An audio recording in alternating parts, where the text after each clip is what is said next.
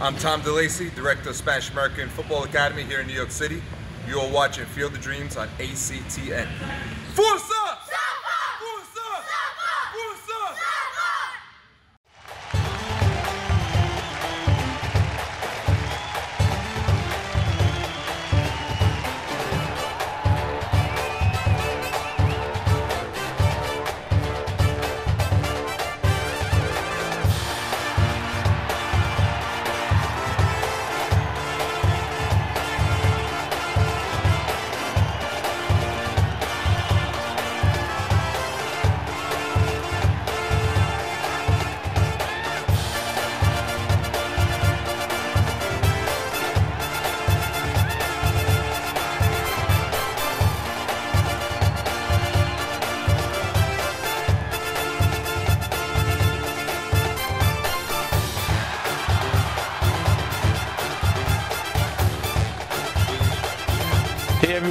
Welcome to another edition of Field of Dreams on ACTN. I'm Steve David, I'm your host. Um, today I want to talk about uh, foot preparation, football preparation beyond physical. Let me introduce my panel who is going to help me do that. Um, Narada Wilson, welcome to Set Narada. Yes, always a pleasure to be here, Steve, and good topic, especially in this time where some of the physical, you know, parts of football have been slightly limited. So we have to see what else our athletes or footballers would have to be doing to work on their game. And next in the rider is Larry Joseph. Welcome to set, Larry. Thanks again, Steve. Always a pleasure. You look sharp with your, your nice um, red and shoes and matching. You always do that, man. Don't I? You are well dressed. I'm not mistaken for some political appointee. Uh, yeah, I hope it doesn't represent po any political affiliation. Um, guys, I've been thinking, um, let me start with, I didn't realize how much psychological preparation in football, how important it was until in 1973 when we were preparing for that event in Haiti and we had a woman called Sh Shirley Rudd Otley. She did not get enough credit for the work that she's done for that squad. So I want to big up on this phase of our talk was psychological, but um, if there is any person that you guys want to big up as well, feel free to do that. But she played such a big part in our preparation and I would take you guys, as we, as we talk, I would take you guys through some of the things that she has done for us. And so she knows that we appreciate it and we feel I want to make sure I personally thank her for her efforts in, in what she's done. Have you done anything, uh, met any person in that regard? Yeah, um, for me, um, you know, presently, uh, at least in my time, there was the sport company has a psych, uh, sports psychology unit more or less. And you know, from my professional stance, you know, a lot of my clients have been fortunate enough to work under some of these persons, and especially I would have to say uh, Amanda Johnson.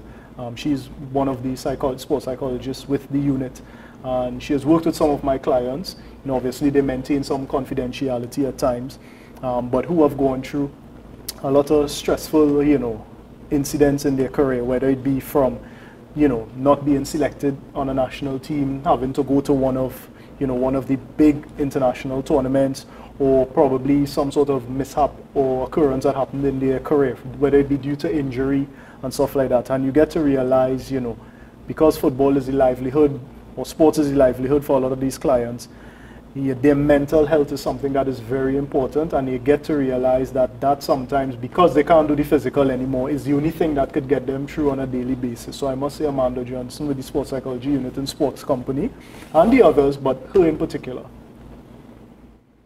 Uh, no for me uh, there was no psychological help um, on a team or personal level during my playing career uh, the closest uh, we came to, I came to, was either an employee of the company or somebody who the coach would bring in to kind of give some pep talk.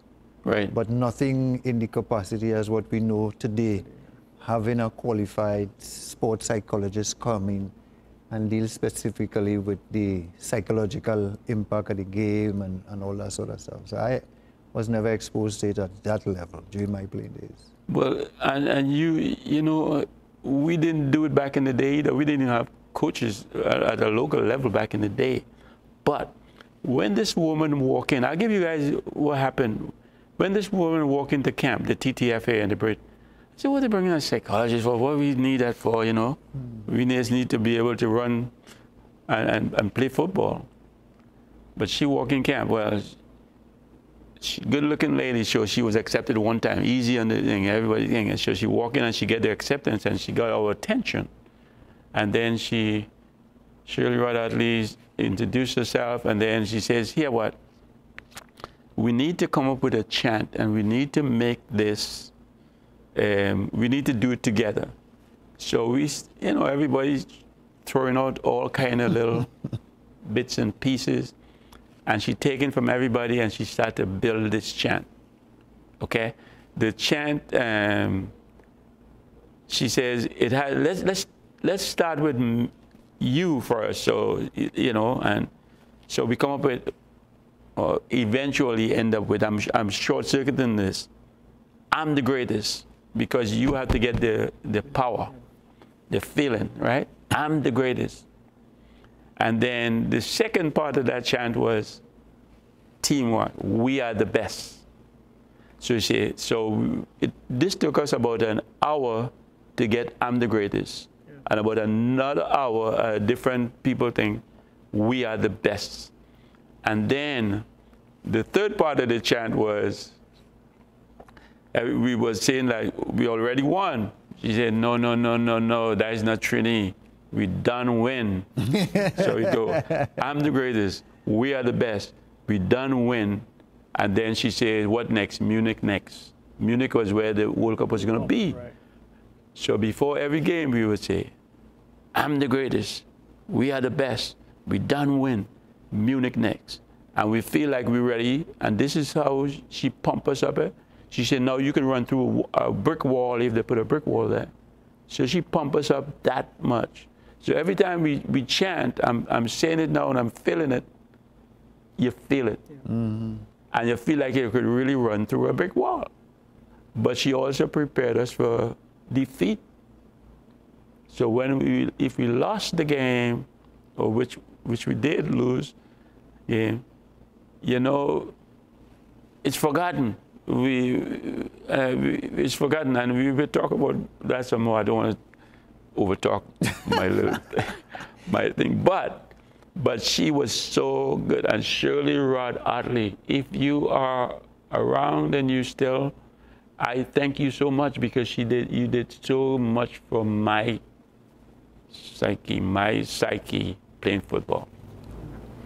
Um, I will have to agree. You know, um, I think some of the things that she did there was sort of like a self-reassurance first, a kind of collective reassurance and then you know maybe a mission and all that. So she prepared you all really well for different parts of what contributes to the game. You know the overall mission of the team, and I think that is something the psychologists are able to do. I think what happens is that they tend to work with a collective group, but finding a way to bring out individual problems, worries, and stuff like that, and kind of put it out without targeting a particular person. Because a lot of times when I played football, you know, whether it was at university or at club level here, there were things that were going through your mind or even personal things you were feeling, whether at home, your nerves or whatever. but I guess football being somewhat of a macho sport, if we want to say, you mm. know, you, you weren't going to say those things. Everybody puts up a front, but you have your personal issues that you're dealing with. And I think when they come in and you have your one-on-ones with them, you're able to put it out there. And then they could now find a way to present it to the entire team. You know, anyone feeling this or this is normal.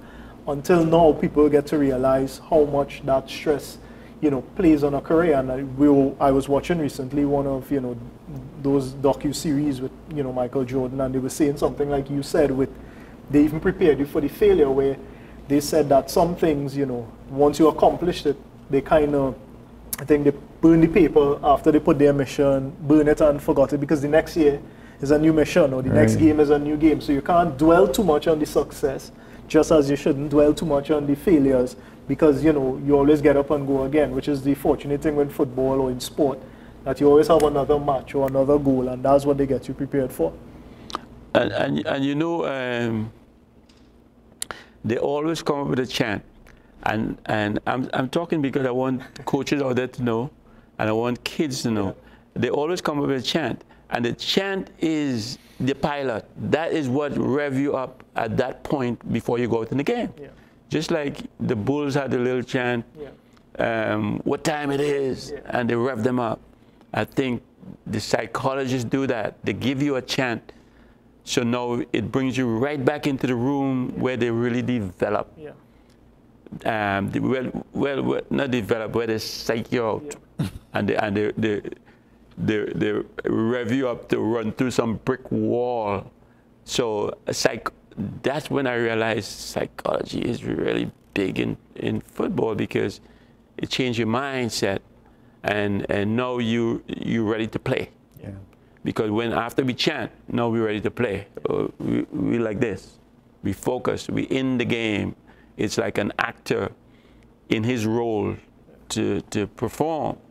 So you, you, you could be whoever you want, right? So, uh, uh, but she didn't go with us. Shirley Rodley, Rodley did not go to Haiti with us, but she was there. Yeah. You know, every time we chant, she was there. And, and, and, and every time we run out in the, after we say our chant and run out in the field, we, we are in, we, we is in the zone, we in the bubble. Mm-hmm. And so that's when I realized how important, you know, psychology is in football, but, but I took it to my entire career. I'm the greatest. I always, we are the best. We don't, but I didn't go with the part we don't win Yeah. Munich next, but I'm the greatest. And I, we are going to be best. That was my personal. And I always felt, I remember one day, I was in- LA, I was living across from a movie theater, and I go see the, this movie, Muhammad Ali, I'm the greatest yeah. with uh, that song and everything. And anytime I'm in the tough times, man, doing if we training and they say, all right, we got to do 10 shuttles in 10 seconds and, and 30 minutes rest. And that song used to be the one that keep me driving me through all the hard work. We're running the, the horse track.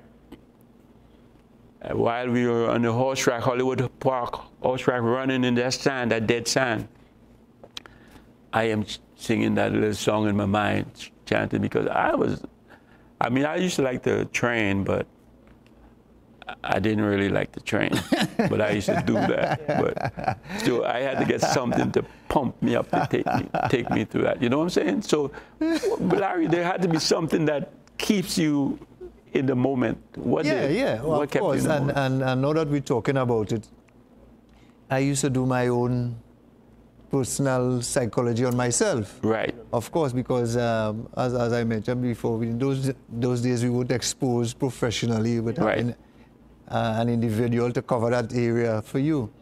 So, uh, and I'm sure I'm not alone in this in this thing. I mean, I used to, the night before games, you know, I used to sit and process the games in my mind. You know, what I would do when I get the first pass, how I would control it.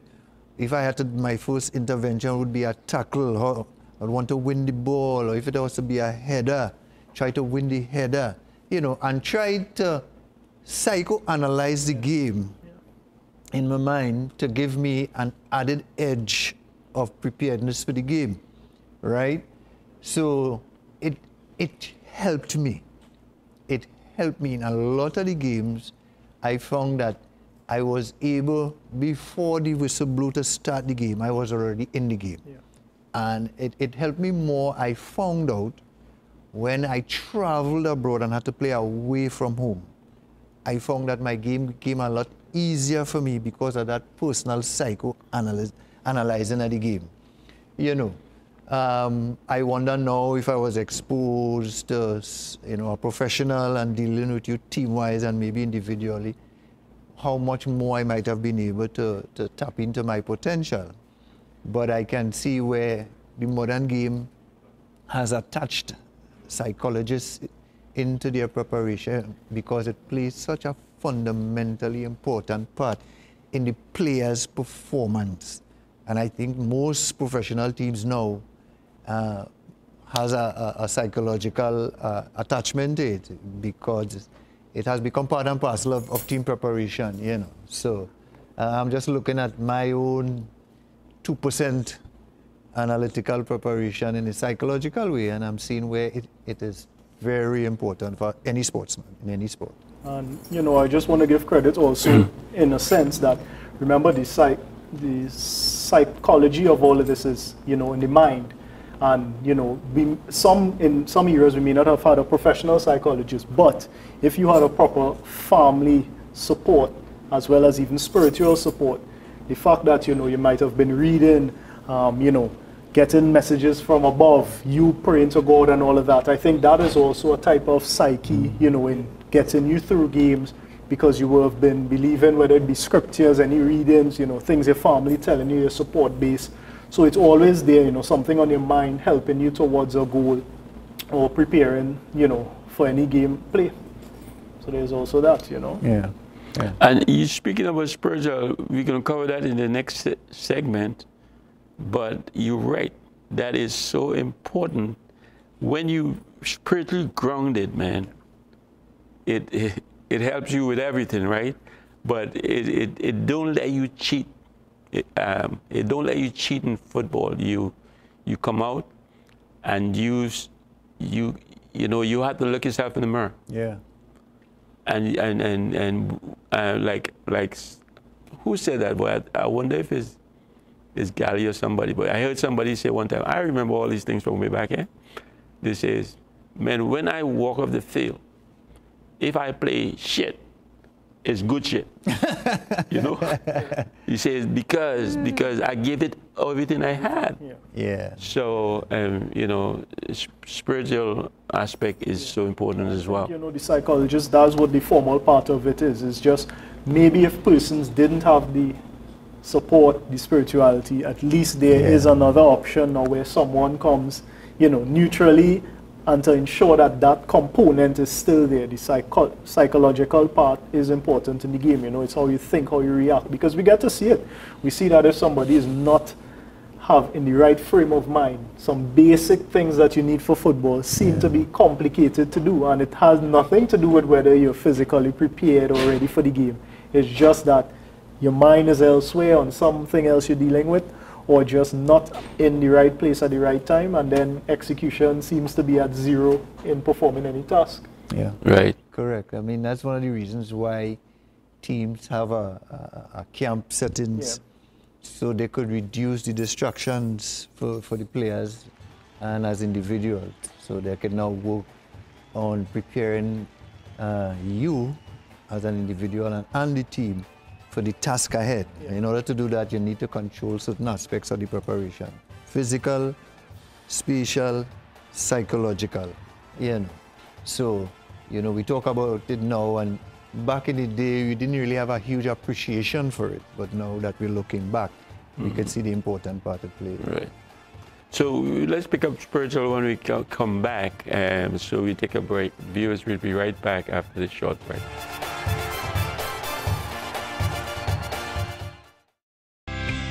Prime Minister has called for population to show compassion, humanity, and common sense. Let's fight this together. This is Nikki Crosby, and COVID 19 is no joke. The best thing you could do to bless the nation right now, Olia, is stay home. There's one enemy, which is the coronavirus. I know that it's real difficult to be inside all the time, but find different things to do.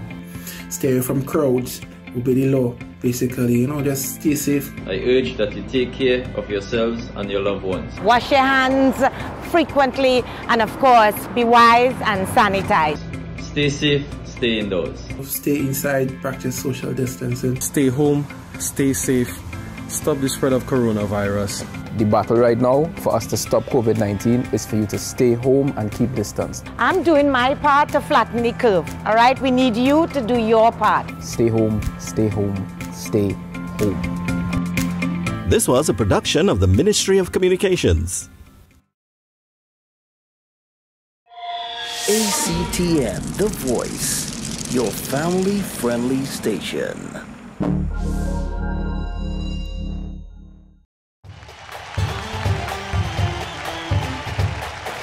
Okay, welcome back, viewers. Okay, guys, um, before the break, we were talking about um, psychological importance, and now we shift a little bit to how, how you have to be spiritually grounded as well. So you you know you you in that spiritual realm that you you you have somebody you know you know that you have to give your all that's how I felt. And and you have to look yourself in the mirror and you and the people I noticed who are spiritually grounded are the disciplined guys. I always look around my teammates and the ones who are spiritually grounded are the ones with the most discipline. Why? I'm, I'm, I'm, I'm, I'm being like now, I'm being a, a host here now. Why? Why do you think that happens? let Larry start. Well, um, it's a, I think it's a given when people uh, think of, of somebody as a spiritual person or a Christian. There's a certain standard that is expected of that person, especially back in our days. In our, nowadays, we our society was very conservative because right. of our religious beliefs. Correct. You know, uh, our culture was guided upon church statutes and the Bible and that sort of thing. So there was no way you could turn, including sport, where those principles didn't play a huge part. So if, I mean, and I could speak of these things personally because I've been a born-again Christian for years. I mean, my own uh, football journey was, was started primarily at an early age, just when I, I, I, came to the Lord. And, and so it, on a personal level, it guided my entire career. And as you said, uh, Steve, in terms of you expected these players to be well disciplined and everything, and I can and I can uh, agree with that sentiment because as much as I wanted to win, I never wanted to and never did want to win at all costs. I will not and did not cheat when I played. Right. It, it, it wasn't part of my makeup. It never even entered my mind to cheat while the game was going on. It was something foreign to my makeup, you know, and obviously it had everything to do with my uh, spiritual beliefs.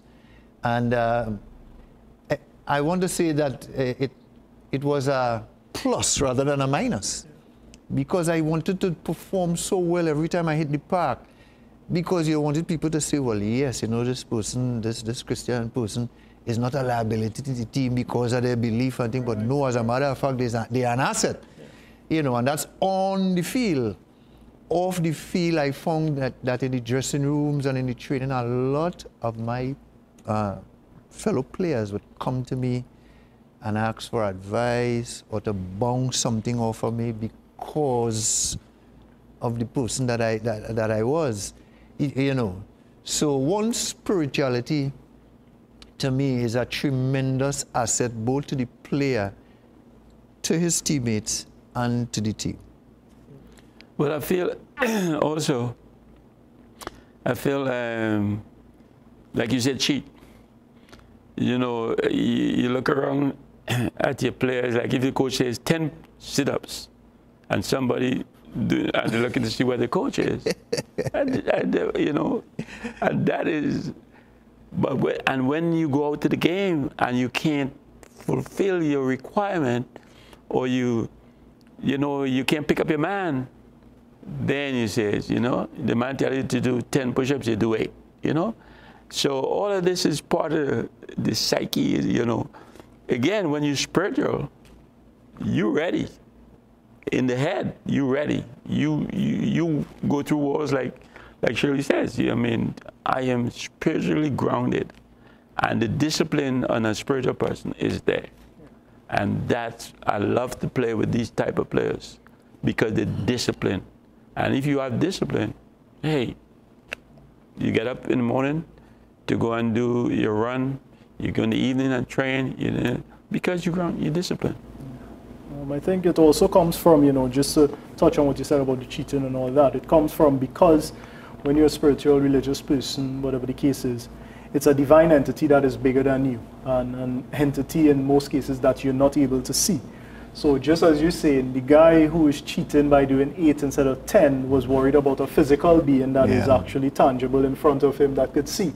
But when you're spiritual or connected religiously, you're thinking about a higher power who is seeing that even when you cheat in front of the coach, that power is seeing. So you tend to you answer to something bigger, bigger. than you. Yeah. yeah. You know, you answer to something that is not that you know is seeing everything that you're doing. So you kind of submit yourself more than the average Joe might because he's only worried about the worldly things. Um, yeah. And it, it, tends to really be reflected, you know, um, from the training to the games to the honesty. And like you said, Steve, you know, I agree. I think for me, I was always about, you know, positivity with players. I never thought you needed to say negative things because they risk a 50-50 if the person reacts well or not. And somehow you found that those were those people that were grounded spiritually, they were able to understand things a bit more. You know, yeah. even if it's a conflict, you just expected that person to at least hear you out, even if it was a disagreement. Even to come into the battle on the field with you, you just expected that person to understand it from a better angle, opposed to a cheating or to damage yeah. the person. You expected that they will come in because they wanted the ball win situation more. And you know, just relying on your team you really didn't want any liabilities and you always were sure that at least the people that were spiritually grounded would give you that support in anything from an honest standpoint. And, you know, I, I, for me, it's just that they submitted themselves to a higher power that did not need to be seen for them to act accordingly. And, you know, and that's, that's what a very, very good point, Narada. Very good point. Couldn't have said it any better. And I, I think that is what should drive uh, spiritual people in, in, all aspects yeah. of their life because of the fact that they know that there is a God who's looking at them and you just can't hide from God, you know, as much as some people may think they can. So in, in, in, in football, if we just zero back into to our talk here in terms of foot, football, you knew that uh, because you didn't cheat in the training sessions, you, you try to do as much and as the best as you could as instructions, you know, it, it came naturally to you because that was your stance in life. Yeah.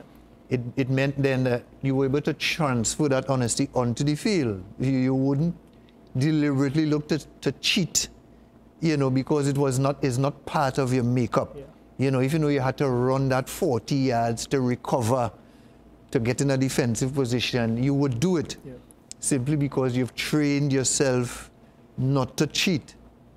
You know, that kind of thing. So um, for, it worked for me. I mean, having said so, I'm not, I don't want to make it sound like I was a total saint during the game because a lot of times I would react to referee's decision because it's a physical game that plays at a thousand miles per hour. And when you disagree with a referee's blow, especially against you, you would react. And I, you know, I think people would forgive that type of behavior. But you wouldn't, my reaction wouldn't be one of profanity and all those, so, you know, it would just be a disagreement with a blow. And I, I, suppose I'm in no, I'm in good company with that because I think every footballer mm-hmm. reacts whenever a referee blows against them, you know. But even a spiritual person, even in, in your reaction, it does dictate how your reaction is as compared to somebody who is not, because we all know some people whose reaction is, you know, are, are way above board, you know, they would have their own reasons for that. But yes, being spiritually minded does contribute to a person's performance. And, and I'm hoping that it is a, in a positive light because, I mean, I have known some people who claim spirituality, but their performance is quite the opposite of what you should associate it with. Well, yeah. I also noticed as well that the spiritually grounded guys are more mild-mannered. They accept criticisms. They can share back and forth. They're not a loud mouth. And the ones less spiritual, and I'm not saying to all the loud mouths, eh? the ones less spiritual is more a loud mouth type and and easily aggravated. Yes, correct. And, and, and all that kind of stuff. Correct. Yeah? That, that is so correct, Steve. Um, I think it has to do with your, your spiritual training, Yeah. you know, because let's assume that the person who is spiritual, let's, let's use the word Christian for now, you know, you would expect that a Christian would be somebody who would spend a lot of time praying, Correct. reading the Bible, and, you know, these are exercises that help you to keep your emotions in check because there are certain revelations in your prayer life and in reading the Bible that shows you eh, you ain't all that you feel you really is, you know. Right. You know, you are just a finite person who is imperfect and you depend so much on God's help to do things just to be able to get up on mornings and to be alive and to be able to have the strength to go and train and play this game that you love so much. So it gives you the information that helps you to realize, hey, you have a role to play, play it, right? You are not God's gift to the game. You know, it has some people believe if, if they can't play the game, the game will disappear and, and that kind of thing. No.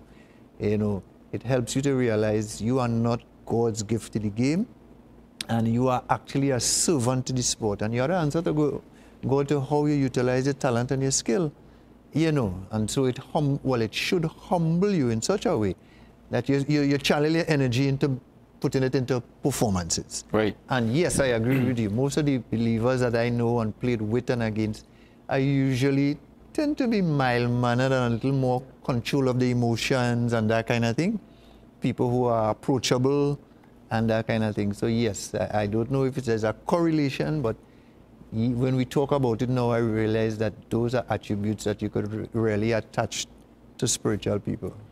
So for coaches now, um, Narada, you think if you're selecting players for your team, you would base it on all of these um, things that we're talking about, or or you just look for the player who can ball, the baller?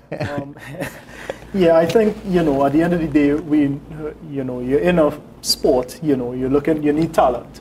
Um, but I think if a coach has 20 guys who are not spiritual and just talented or just have talent, then obviously he's going to have to choose just based on raw talent. But I think if you have talented players and some of them come with added attributes as spiritual, Spiritual.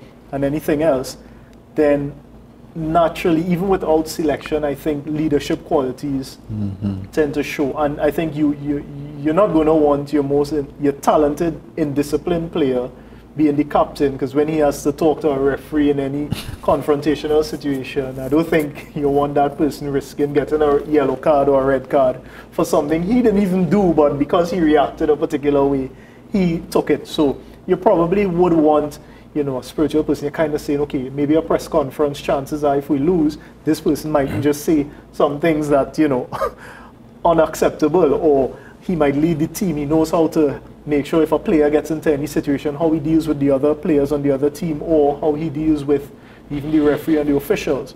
So I think natural selection kind of shows its head Yeah. in players with those added bonus attributes. Yeah, I mean, I don't think anybody, any coach picked uh, his team based on, on whether somebody is a priest or not. It, it was down purely to whether he's a baller. Yeah. You know, because the competitive instinct of everybody, coach foremost, is that um, the more talented you are, is, is the more he wanted you to play for his team. So I think it's just whether the players that were selected or are selected happens to be a spiritual person at the same time as being a good footballer, you know. So in my in my days, it, we always had one or two other uh, believers on, on, on team so that I would have company uh, to be with. I wouldn't always be my, by myself, or even if I was, it wasn't any big deal. I mean, I remember the first time I got called to the national team was uh, 18 or 19 years old. I wouldn't call any names now, but when I got up to the training session, I, you know, young Christian, I, after the training session, I go in my bag and I take out my little gospel chuck and I went and give it around to the players and them and them and watch them so. Yeah. I coming down the road in the car that had the other guys and them, them man and them cussing was, you, you're a priest, so up to you, boy. You, see- you see that man who passes in that car overtaking with the put your head out the window and cuss that man, you know. you, you know, it was all done in, in, in, Yeah, in, yeah. in fun, you know, but I think, and later on we became very, very good friends. Eh, My nickname at that time was Father. Some of them still call me that, you know.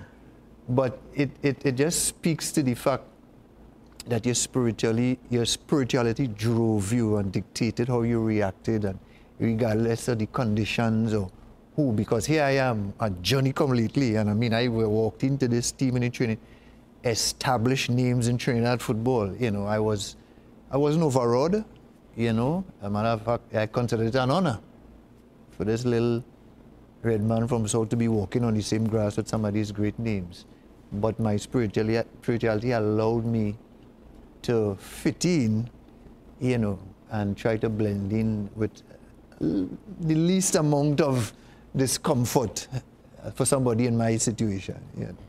I, I mean, uh, just, and just talking about that, especially for the young ones listening, they should try to get themselves spiritually grounded at a young age.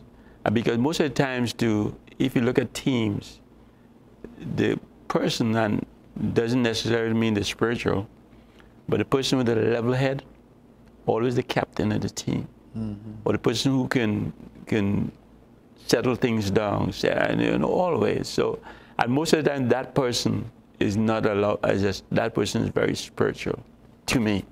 All of my captains, you know, they they know God, um, or most of them, they know God, and they kind of carry themselves in such a manner that something you look up to and you follow. And I think, you know, to add to that, it would be that, you know, you get to realize that, and we use in football, but the road of football, or in life in general, has a lot of ups and downs and tribulations. And what would happen with a leader, whether it be the coach of a team or captain, is that they have two options. You're basically going to experience everything life has to offer and then realize you were in control of next to none of it. and it really was something higher to some extent. You could prepare how to deal mm-hmm. with it. And I think for younger kids, you know, who watching it's get in line with it one time, even if you don't have it, because you just save yourself having to learn it just at a later stage Yeah. because of what life taught you.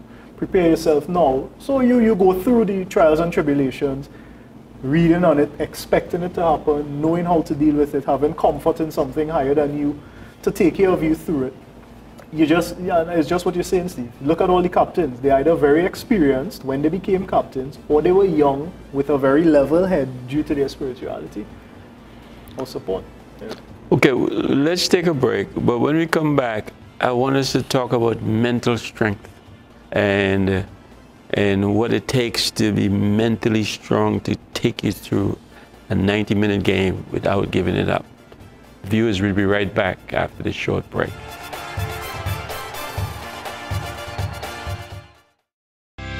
The Prime Minister has called for population to show compassion, humanity, and common sense. Let's fight this together. This is Nikki Crosby, and COVID 19 is no joke. The best thing you could do to bless the nation right now, Olia, is stay home. There's one enemy, which is the coronavirus. I know that it's real difficult to be inside all the time, but find different things to do. Stay away from crowds, obey the law, basically, you know, just stay safe. I urge that you take care of yourselves and your loved ones. Wash your hands frequently, and of course, be wise and sanitize. Stay safe, stay indoors. Stay inside, practice social distancing. Stay home, stay safe, stop the spread of coronavirus. The battle right now for us to stop COVID 19 is for you to stay home and keep distance. I'm doing my part to flatten the curve. All right, we need you to do your part. Stay home, stay home, stay home. This was a production of the Ministry of Communications. ACTN The Voice, your family friendly station.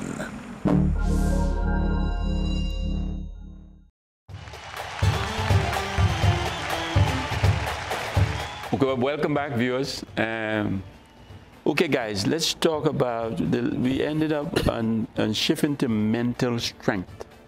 And for me as a player, um, and I always say Americans or the Englishmen, they are more mentally strong than us. And, and a lot of people say, no, no, no, no, no. I find as, as a nation, when it's time to go over the top or give it a little more than it, that's when we, I always compare us as Brazil. I say if Brazil was, Brazilians were mentally strong, Correct. Brazil would have won every World Cup. And, and I feel we do the same. For me, and I know when I'm playing, sometimes I know I could get a, uh, go and get a ball in, but I say, you know what, let it run outside, man. Let me get a break. The only time I think I am totally 100% mentally strong when I play it, I could run as hard and be as tired as ever, and a ball get loose going to, for a goal, I'm all my tiredness go. I go, I will go and get it, and when I score it, then I feel tired after.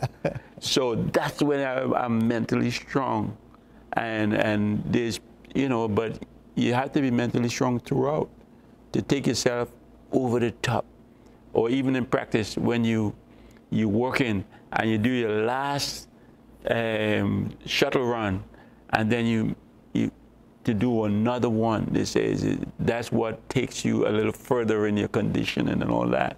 But mental toughness is our, I think, our biggest problem as a nation in footballers. How you feel? Um, well, I would say, you know, at the end of the day, the brain is a muscle, as they say, and you have to exercise it. So you have to find ways, how do you condition your brain to be, you know, working and strong, you know, for these situations. I agree I think Trinidad is closer to Brazil than we are to maybe England and stuff. Um, for us, a lot of this passion in sport comes from an emotional place more than anything, and we tend to dip our heads a little before or a little earlier than some other countries. Um, I think a lot of it has to do with, for us, it's a, a lack of adversity. Mm-hmm. You know, um, mm-hmm. you know, you watch the times when West Indies cricket may have been great, and it was, you know, these young Caribbean, you know, whether we want to say black guys, coming and doing something to the colonizers, you know, damaging some of the high-ranking European countries or other Commonwealth countries. Um, so there was something challenging. Today, you know, we find our cricketers are multimillionaires and maybe a lot of things came a little easier. It's faster to come now. Um, and it transcends the football as well, you know. Even in track and field today, you see, I think track and field, we have a little more fight in us. We mm -hmm. see the guys going because they want to beat America or they at least want to get away from Jamaica in some regards. Um, but in football, I think, you know, we kind of making the money, they're making the living, they're getting to go abroad regardless of where. So we've lost that sort of fighting, wanting to work on proving to the country that we're great. And it has to come from an early age. I think, you know, we're glorifying a very young group, you know, and I think by all means it might fall on the secondary schools league where a great, you know, great level of football in terms of for exposure, great opportunity for to be exposed, a lot of backing in terms of financially and a support base, but in terms of talent, a lot of these guys are being exposed to being considered great players and highlighted at too young of an age you know, and I even see it where I said it on programs before, I, I still have a little reservation with some of these games that mean nothing being played at the National Stadium because I think it should be an honor to have play in the National Stadium, maybe at a final level, cool. Mm-hmm. But you should be running through some of the little grass and the little sand here and there to fight to actually realize that, you know, you're trying for something better. If you get everything too easy, I think mentally they're a little too, so you find players get ruffled very easily. If we, you know, already going to lose, they just give up. There's no that extra mile to go because they've just been exposed to too much too quickly. You know. Yeah, the mental, and we we opened the show speaking about the psychological uh, aspect of of the footballers' performance, and um, it it is it is so important you know, you know, as a as a former, as a past player, you know, I'm realizing now where my psychological strength uh, served me in a lot of occasions. And also on the flip side, where my lack of psychological or mental strength also let me down in terms of my performances in, in some games. So it just drives home the point where the mental makeup of the player is part and parcel of his performance. Uh, you cannot divide the both of them. You know, um, if you, and, and the mental development takes in all aspects of the preparation. It takes in uh, what you do the day before, how you react in training, what is your interaction with your, your teammates, uh, your coaching staff, you know, playing at home in certain conditions, playing away, different ground conditions, how do you react to criticisms? You know, these are all part of your mental development because it's a journey that you're on as a footballer. And each aspect of that journey, each junction of that journey helps to develop you mentally or it could also cause you to become so mentally weak yeah. that you're no good for the rest of the journey because I know of quite a few players who with their feet were very talented but mentally weak and couldn't stand up to the rigors and demands of a game, mm -hmm. especially if they were not having a good one and the crowd got, got on you, you know. And so they fell at the wayside because they were not able to make that transition on a mental level, not on a, on, on, on a skill level.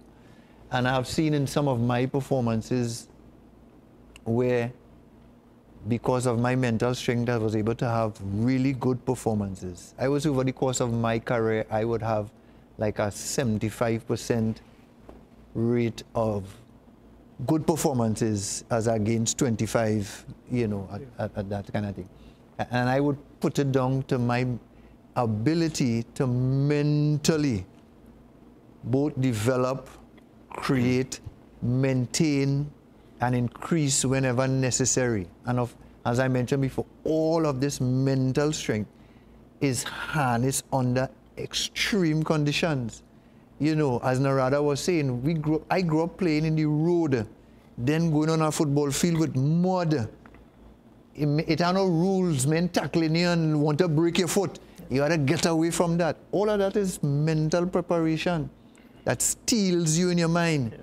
So that, for instance, I used to find it a lot easier mentally to play away from Trinidad because the pressures of the home crowd wasn't on me that much. The crowd, as far as I'm concerned, was very neutral. Yeah. So I felt a lot freer. And so my performances were a lot, it, it, it reflected that. When I was home, if you, if you had a bad game, you know your supporters would come down on you. And your desire to please your supporters was so high that sometimes, if you don't catch yourself, you would listen to the noises on the outside and it affect your performance on, on, on the field. But mental strength is so, so important. And even though you might see some real skillful players and you might feel that they did it all with their feet only, if you were to really sit and chat with them, you realize that they were mentally tough. Yeah. And so they were able to drown out the noises, as the case may be, and all the distractions, and just channel their energies and their skill to that 90 minutes on the park. And I feel like defenders uh, all, and I, again, looking looking at it now, defenders are just more mentally tougher than strikers. Why? Because they are in the position, if we miss, yeah. it's goal. And strikers, if we miss, we're going to do it again. I'm going to get another opportunity. But, and when we work, I mean, okay, if they said do eight laps, in your first lap, you, are mentally strong because you know you have seven more to go. Yeah. But when you're coming down to the seventh, the sixth and seventh lap, you start to fade in the mind. And so we, uh, it's just natural for that to happen. We just want to get to the finish line. Yeah. So how we, how we build that? I say, if the coach says do 10 push-ups, you put in your mind, I'm doing 20. So you're going to be on the line. And, and we always say, to improve, you have to take yourself to the brink, uh, collapse, and then do another yard or two, and then you could improve. And then the next time you go to that, and then you do another yard or two. This is to put that in the brain and, and, and digest it is very difficult. Yeah, um, I think one, that's one of, to me, that's one of the differences now between when I used to play and back in your days, Steve, uh, uh, as against the modern player, you know, and this is just my assessment of it. I think the fact that we had such a passion for the game that it drove us both mentally and physically to want to excel and to be the best, you know, and the, the level of competition on a local level was so high that it turned out that you always improved both in your performance and your mental capacity because you were challenged on those two levels every time you went onto the park. You know, uh, and, and, and it was something that you had to kind of self-evaluate because as we mentioned before, we didn't have all these different support systems back in the day. It's just you and the coach if you did have a coach at that time. So you find that your individual, not performance, but progression and improvement and potential was harnessed under these tough conditions. And it redounded to the benefit of your improved performance and also your improved mental strength. You know, and uh, at t- today's player, I find, because of all that they have around them in terms of the technology and, and all that kind of support and thing, I, I think that it doesn't redound to the mental challenges that we had to undergo before. And so there, there, there's a deficit in that area. And even on the, on the, the talent level, because this, the, the competition is not as tough as it should be. And of course, the only how you could improve is, is if you play against people who are better than you on a regular basis. Uh, because if you, in a mediocre level, better than the rest, you will never improve. And I think that's one of the problems that I'm having with what, what used to give in, in our day as to what gives today. You know. Uh, I think it's also um, us as fans also are responsible for some of the shortcomings mentally for our players. If I look at it, um, you know, you kind of hear you guys speak about an era where locally it was so hard to whether please the community, please the country. So you find like you all had to do a little extra work, whether you figured it out on your own or whatever, to get that respect. Today, I think we as the fans, we have sort of kept looking outside and not valuing our own. So we tend to kind of think, you know, we're just not going to, we're not expecting the kids to be at the stage that we have access to today, which then leads us to not really criticize or demand too much from them. You know, we see anybody say they're good, we just like, okay. So these kids not growing up with um, a, a real sense of, you know, what they need to overcome in the future. Right, um, and you know, just to end that, because I want to talk a few minutes uh, on Sedley Joseph, is that I always look at the oppo opponent's strikers, and if they give my defense trouble, I have to give their defense trouble. so that is my that was my try, always. All right, um, you know, you guys are aware the passing of Sedley Joseph, our captain, and they call him skipper because he has run um, you know, he has been captain for Trinidad team for a while, and he was one of, if he, he might go down as the best captain we ever had, because that's how some people um, label him. And it's very sad to hear about his passing, and so I wanted to do a show on him, but um, if we can, we will get it done, but if not, um, uh, what have you heard about him? If you guys have heard anything, and, and, and I have I seen him play. I played against him. Um, not in national team. I was in the national team then, but as a kid, I saw him play, and I played against him when he got older, and he was a tremendous player. Um, well, I will go because I know I'm kind of brief with it. Um, I wasn't able to see him play. Um, I worked around guys when I first started uh, coaching in, for a year. I worked around a lot of guys who played with him. Um, and, you know, we had the untimely passing as well uh, with Reginald George last year. So you kind of see that an era of captains, you know, because these guys held captaincy for a very long period in Trinidad. Mm-hmm. Very well respected, just as you said. I know Georgie was captain too and skipper, and you know, Sedley was the one that more people, you know, a lot of people considered him to be the best. Very respectful, intimidating at the time. There's the few words that I've held, um, seen, and I went to a couple of the Malvern Maple games when they would have these celebrations, and he would be there. So that was my interaction with him. Very, you know, well-mannered, humble guy who has done a lot for Trinidad and Tobago football over the years, and he received whatever accolades he had to receive, national um, medals locally. Um, and it is really untimely, and I hope he rests in peace and would be a part of the story of football that we've lost. Mm-hmm. Well, my first uh, contact with Sedley was uh, actually playing against BWI graduates when Trintok, we would be in camp and they would bring these guys to give us a little practice. And I remember when we first saw them and we realized, well, I could bring these old men to play against me. and when the game started, we realized why they brought them because yeah. to teach us a little lesson and to put a little dent in with pride and cockiness now. Yeah. Right. Because them old men had we chasing shadows. Yeah. I mean, and I talking about 11 national players on yeah. the park. Right. And them old men and them is one touch and two touch. Yeah. And, and I'm on the field and I'm like, I'm dreaming. I can't get close to these men at all. You know, it, it, it, blew me away. Uh, the next time I met Sedley, he was actually the manager of the national team when we went to first Gold Cup, I think he was the manager, if I'm not mistaken. I think he was the manager also for the Caribbean Cup Caribbean tournament that yeah. got us to the Gold Cup, yeah. you know. So that's when I met him at his uh, administrative level.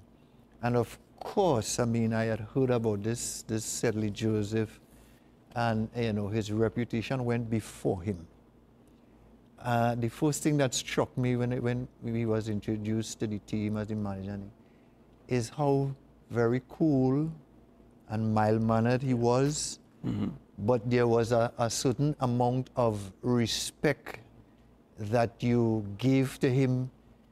I don't know what to, to call it, but he never lifted his voice in anger while he spoke. He, he just gave instructions as to what he wanted from the players. And somehow the way he said it, you, just... you knew you had to do.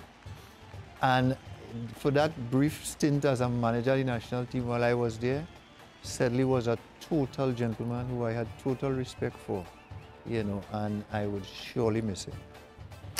Rest in everlasting peace, Sedley. Um, hey, thank you guys for being here. Appreciate you. Uh, ACTN, thanks for giving us the opportunity. Uh, we do have a Facebook page. You can check us out. We do have an email address, fwtt at gmail.com. You can drop us a line. Um, the show is ended. Go in peace. My name is Steve David. Good night.